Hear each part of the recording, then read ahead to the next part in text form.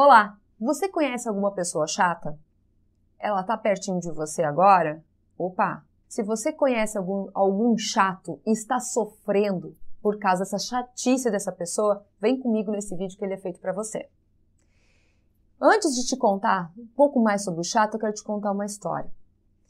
Eu gravo periscopes periodicamente e conversando com uma pessoa do Periscope que me escreveu no meu canal, ela me contou o inverso. E quando a gente recebe um chato na nossa família, como um namorado de alguém, um cunhado, um sobrinho, alguém que vem para você, como lidar com isso daí?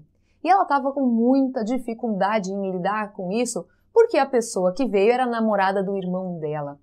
E essa namorada do irmão dela era espaçosa. Ela invadiu o espaço, ela entrava nos quartos, ela abria a geladeira, ela não queria nem saber.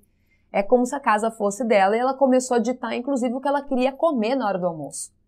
E é uma pessoa que ficou como o estereótipo de chata da família e as pessoas não sabiam mais como se posicionar em relação a elas. É o seu caso? Tem uma pessoa espaçosa chegando ali? Quero te dizer que de repente é o contrário, é você que é o chato. A gente tem uma brincadeira aqui no sul que a gente diz quando nós estamos com um grupo, localiza logo o chato do local. Se você não localizar o chato logo do local, a chance de você ser esse chato é muito grande. então, em primeiro lugar, quando nós estamos falando de um chato, nós estamos falando de uma pessoa que ela está invadindo com o seu jeito de ser. E isso mostra que do outro lado, a pessoa que recebe esse chato tem um aprendizado com ela que é aprender a dizer não, dar limites.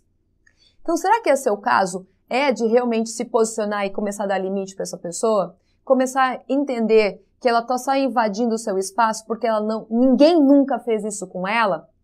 Ou o contrário, uma outra situação.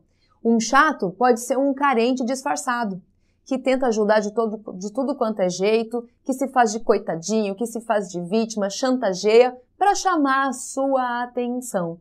E aí eu pergunto para você, será que você sabe lidar com uma pessoa que quer de todo jeito a sua aprovação e fica muito chateada quando faz um milhão de coisas para você e você não retribui na, na altura do que ela deseja para você? Se for esse seu caso, você precisa tomar muito cuidado, porque essa chatice é pegajosa, ela é muito emocional. Existe chatice que é de atitudes, existe chatice daquela pessoa que sabe tudo, que é a mental, e existe a chatice daquela pessoa que é emocional, que é grudenta.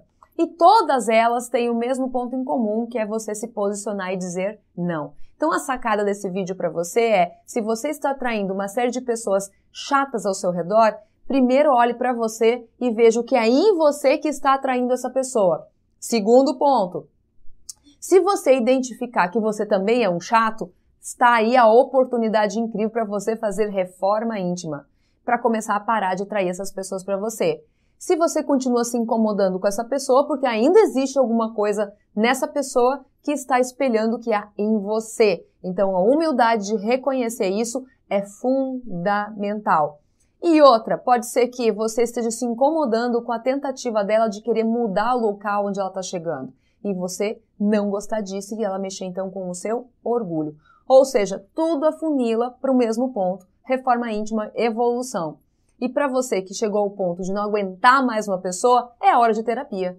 É hora de você pedir ajuda, é hora de você realmente começar a ir além e sair dessa situação. Para quem não me conhece, eu sou a Aline Schultz, sou terapeuta há praticamente 10 anos e estou desenvolvendo esse trabalho para ajudar você a sair dessas situações como de encontrar pessoas chatas na sua vida e principalmente de você não ser o chato da vez naquele momento com aquele grupo ok? Um forte abraço e até o próximo vídeo.